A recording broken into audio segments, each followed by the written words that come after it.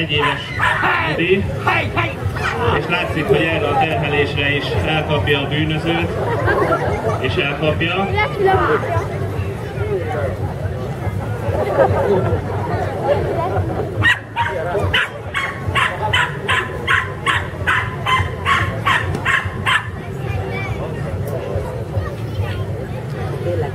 És a következő dolog, amikor az úgynevezett fülkés sátorban meg kell találni a elkövetőt, és felugatással jeleznie a gazdának, hogy ő megtalálta. Addig nem nyúlhat hozzá, viszont amint az ember menekülni kezd ebből a sátorból, a kutya ezt a menekülést egyből hárítja és elkapja.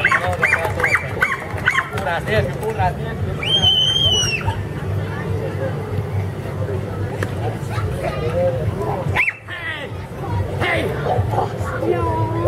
És látszik, hogy korát tud ugrani, ő is a kis termete ellenére hatalmas szíve van, mert igazából a fajtájára jellemző volt, hogy a birkákat kellett terelnie, és ebben a nagy melegben is a birkák képesek voltak elcsatangolnia, tehát dolgoznia kell ilyen körülmények között is.